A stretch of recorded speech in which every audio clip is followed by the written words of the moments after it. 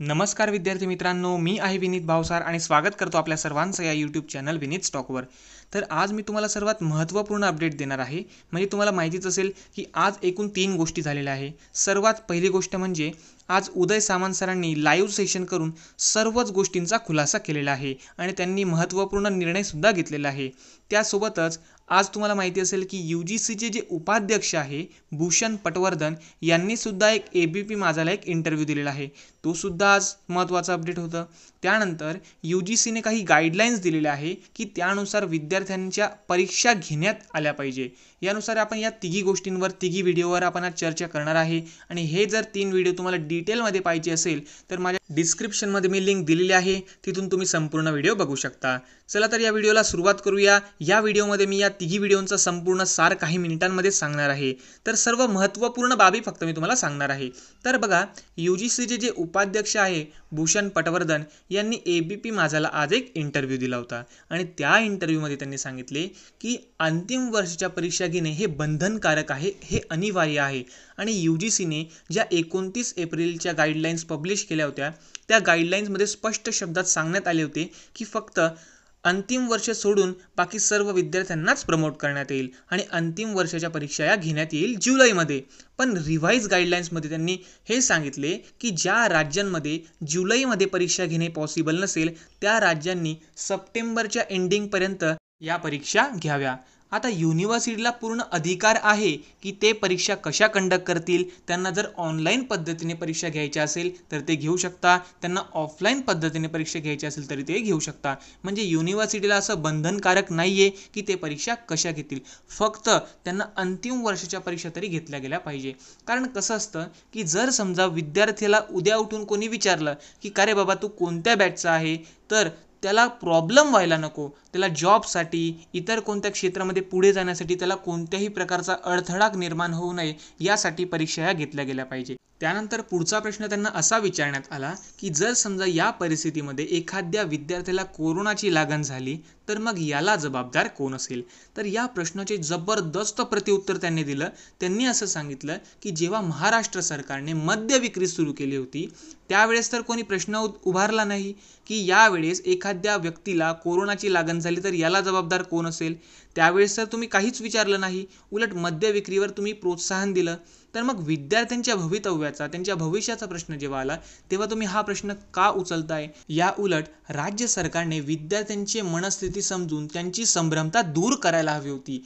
त्यांना परीक्षेचे महत्त्व सांगून कशा पद्धतीने परीक्षा देण्यात आली पाहिजे हे त्यांना व्यवस्थित महत्त्व त्याचे समजावून सांगायला पाहिजे होते. त्यांनी विद्यार्थ्यांची साथ द्यायला हवी होती. त्यांनी बोलताना हे देखील सांगितले की महाराष्ट्र सरकार या उलट विद्यार्थ्यांमध्ये संभ्रमतेचं वातावरण तयार करत होतं. विद्यार्थ्यांना जे विद्यार्थी पहिले परीक्षा द्यायला तयार होते अशा विद्यार्थ्यांना परीक्षा न घेण्याबाबत त्यांना मार्गदर्शन करत होतं. याबद्दल त्यांनी हे सांगितलं. त्यानंतर त्यांनी असं देखील सांगितलं की जे विद्यार्थी बाहेरगावी आहे किंवा बाहेरच्या राज्यांमध्ये आहे अशा विद्यार्थ्यांना इथे येण्याची गरजच नाही. त्यांनी त्याच राज्यामध्ये त्यांच्या घराजवळ जे पण काही पोस्ट ऑफिस आहे पोलीस स्टेशन आहे जे पण काही गव्हर्नमेंट कर्मचारी असतील किंवा इतर काही शाळा कॉलेजेस असतील त्या ठिकाणी बसून त्यांनी पेपर द्यावे. ऑफलाईन किंवा ऑनलाईन माध्यमातून आपण त्यांचा स्वीकार करू. त्या पुढील प्रश्न त्यांना असा विचारण्यात आला की यू जी सीच्या ज्या गाईडलाईन्स आहे या सर्व राज्यांना बंधनकारक राहतील किंवा नाही? तर यावर त्यांनी उत्तर असं दिलं की रेग्युलेशन ॲक्ट दोन हजार तीननुसार या गाईडलाईन सर्व राज्यांना तसेच सर्व विद्यापीठांना या कंपल्सरी राहतील या त्यांना बंधनकारक राहतील. यू जी सीने जर समजा त्यांना गाईडलाईन्स दिली आहे तर त्याचं पालन त्यांना करावं लागेल. आणि जर समजा नाही केलं तर याबद्दल तुम्हाला माहितीच असेल की बऱ्याचशा विद्यापीठांनी बऱ्याचशा राज्यांमध्ये याच्यावर केससुद्धा केलेले आहे. हे देखील त्यांनी त्यांच्या बोलण्यामध्ये सांगितलं की दिल्लीमध्ये सुद्धा यू जी सीच्या गाईडलाईन्सवर प्रश्नचिन्ह उभारलं गेलेलं आहे. त्यांनी हायकोर्टात सुद्धा बऱ्याचशा संस्थांनी अपील केलेले आहे. तर बघूया की काय निर्णय येतो ते तर.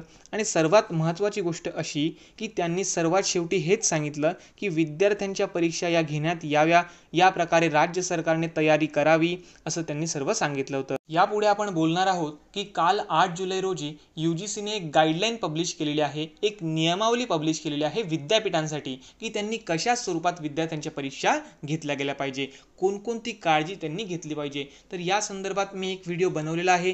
तुम्ही आय बटनवर सुद्धा बघू शकता किंवा मी डिस्क्रिप्शनमध्ये सुद्धा याची लिंक दिलेली आहे. तर त्या जर समजा तुम्ही गाईडलाईन व्यवस्थित बघितल्या ना तर एकदम मजेशीर गोष्ट अशी घडते की एवढं सर्व पालन प्रत्येक राज्यामध्ये प्रत्येक कॉलेजेसमध्ये होऊ शकत नाही. कारण तुम्ही गाईडलाईन्स बघशाल वाचशाल ऐकशाल तेव्हा तुम्हाला संपूर्ण क्लिअर होऊन जाईल की एवढ्या सर्व नियमांचं पालन प्रत्येक कॉलेजेसमध्ये होऊ शकत नाही. तर मग त्यावरूनच तुम्ही समजून घ्या की परीक्षा होणार किंवा होणार नाही. तुमचं कॉलेज त्या गाईडलाईन्स फॉलो करू शकतं किंवा नाही. यावर अजूनही प्रश्नचिन्ह कायम आहे. तर या पुढे आपण बघणार आहोत की आज उदय सामंत सरांचा जबरदस्त लाईव्ह सेशन झाला आणि त्या सेशनमध्ये त्यांनी सर्व टीकाकर मीडिया त्यांच्यावर जे पण काही आरोप करणारे होते त्यांना जबरदस्त प्रतिउत्तर दिलेलं आहे. प्रत्येकाचे प्रूफ त्यांनी आज सादर केलेले आहे आणि त्यासोबतच एक महत्त्वाची बातमीसुद्धा त्यांनी सांगितलेली आहे. तर सर्व काही आता आपण बघणार आहोत. तर सर्वप्रथम त्यांनी तेरा विद्यापीठाचे कुलगुरू यांच्या संमतीने सर्व निर्णय घेतला होता हे सिद्ध केले. त्यांच्याजवळ सर्व प्रूफ होते सर्व एव्हिडन्स होते सर्वांचे लाईव्ह व्हिडिओसुद्धा त्यांनी दाखवले. नंतर कोणकोणत्या तारखेला कोणकोणत्या व्यक्तीशी ते बोलले कोणकोणत्या व्यक्तीशी त्यांनी संपर्क साधला? म्हणजेच वेगवेगळ्या राज्यातील मुख्यमंत्री शिक्षण मंत्री आरोग्यमंत्री तेरा विद्यापीठांचे कुलगुरू त्यासोबतच यू जी सीचे माजी अध्यक्ष या सर्वांच्या संमतीने या सर्वांना विश्वासात घेऊन त्यांच्यासोबत विचारविनिमय करून उदय सामंत सरांनी हा निर्णय घेतला होता की ज्या पद्धतीने अंतिम वर्ष सोडून बाकी सर्व विद्यार्थ्यांच्या परीक्षा रद्द करण्यात आलेल्या आहे त्याच पद्धतीने सर्व स्थिती ओळखून कोविडची जी परिस्थिती सध्या आहे महाराष्ट्रात त्यानंतर त्यांनी असा निर्णय घेतला की अंतिम वर्षाच्या परीक्षासुद्धा रद्द व्हायला पाहिजे. आणि त्यानंतर त्यांनी यू जी सीला पत्र लिहिलं त्यानंतर मुख्यमंत्र्यांनी सुद्धा पी एम साहेबांना पत्र लिहिलं अशा पद्धतीने त्यांनी पत्रसुद्धा लिहिले होते. मग त्यांचं असं म्हणणं पडलं की मग तुम्ही पत्राचं उत्तर का दिलं नाही? अशा बऱ्याचशा काही चर्चा आजच्या व्हिडिओमध्ये त्यांनी केल्या पण यामध्ये विद्यार्थ्यांना जी महत्त्वाची बातमी मला द्यायची होती ती बातमी हीच आहे की ज्या पद्धतीने अंतिम वर्षाच्या परीक्षा या महाराष्ट्र सरकारने रद्द केलेल्या आहे त्याचप्रमाणे आता बॅकलॉग आणि ए टी के टीच्या परीक्षासुद्धा सरकारने रद्द केलेल्या आहे. म्हणजे आता विद्यार्थी फर्स्ट इयरचा असो सेकंड इयरचा असो किंवा थर्ड इयरचा किंवा अंतिम वर्षाचा असो अशा सर्व विद्यार्थ्यांच्या परीक्षा या रद्द झालेल्या आहे. सर्व बॅकलॉग असो किंवा ए टी के टी.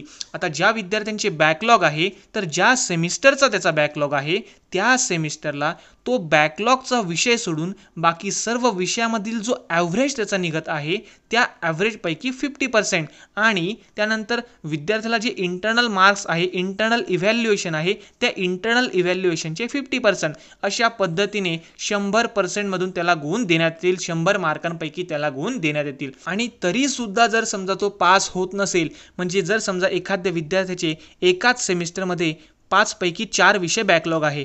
तर मग उरलेल्या एका विषयाच्या सरासरीने तर त्याला गुण देण्यात येणार नाही म्हणजे तो विद्यार्थी तर फेलच होईल. म्हणजे जर या फिफ्टी फिफ्टीच्या पॅटर्ननुसार जरी समजा तो पास होत नसेल तर अशा विद्यार्थ्याला ग्रेस देऊन पास करण्यात येईल. म्हणजे कोणत्याही विद्यार्थ्याच्या परीक्षा या घेतल्या जाणार नाही. अशा सर्व विद्यार्थ्यांच्या परीक्षा या रद्द झालेल्या आहे. Backlog A T K T सर्व विद्यार्थ्यांच्या परीक्षा रद्द झालेल्या आहे. आणि अशा सर्व विद्यार्थ्यांच्या परीक्षांचा जो निकाल आहे तो एकतीस ऑगस्टपर्यंत शासनाने घोषित करावा विद्यापीठाने घोषित करावा. आणि जर समजा विद्यार्थ्यांना ग्रेड इम्प्रूव्हमेंट पाहिजे असेल त्यांना त्यांचे मार्क्स मान्य नसेल तर ते इम्प्रूव्हमेंट एक्झामसुद्धा देऊ शकतात. पण या एक्झाम केव्हा घेतील हे सुद्धा अजून काही निश्चित नाही आहे म्हणजे ओव्हरऑल अपडेट जर आपण बघायचं म्हटलं तर यू जी सी म्हणतंय की परीक्षा घ्या आणि उदय सामंत आणि राज्य सरकार म्हणतंय की परीक्षा घेऊ नका अंतिम वर्षासोबतच backlog A T K T सर्व विद्यार्थ्यांच्या सर्व वर्षांच्या सर्व सत्रांच्या परीक्षा या रद्द झालेल्या आहे. विद्यार्थ्यांना फिफ्टी फिफ्टी या पॅटर्ननुसार मार्क्स देण्यात येईल. फिफ्टी पर्सेंट त्यांना बॅकलॉग सोडून बाकी सर्व विषयातील सरासरी आणि उरलेले फिफ्टी पर्सेंट हे त्याचं इंटरनल इव्हॅल्युएशनवरून त्याचा रिझल्ट घोषित करण्यात येईल. आणि हे सर्व रिझल्ट एकतीस ऑगस्टपर्यंत लावण्यासाठी उदय सामंत सरांनी सांगितलेलं आहे. आता बघूया की केंद्र सरकार आणि राज्य सरकार यामधून कोण आपला निर्णय मागे घेईल किंवा कोणता निर्णय आपल्या राज्याला लागू होईल. आता हे बघणं खरंच खूप जबरदस्त राहणार आहे. खूप बेताचा हा निर्णय होऊ शकतो. तर आता बघूया की काय होते ते तर. तर भेटूया पुढच्या व्हिडिओमध्ये. आशा करतो विद्यार्थी मित्रांनो की हा व्हिडिओ तुम्हाला हेल्पफुल ठरला असेल. व्हिडिओ आवडला असेल तर व्हिडिओला लाईक करा. चॅनलवर नवीन असाल तर चॅनलला सबस्क्राईब करा. मी अशाच नवनवीन अपडेट्स तुमच्यापर्यंत घेऊन येत राहील. तोपर्यंत धन्यवाद. घरी राहा सुरक्षित राहा. आपली आणि आपल्या परिवाराची काळजी घ्या. जय हिंद जय महाराष्ट्र.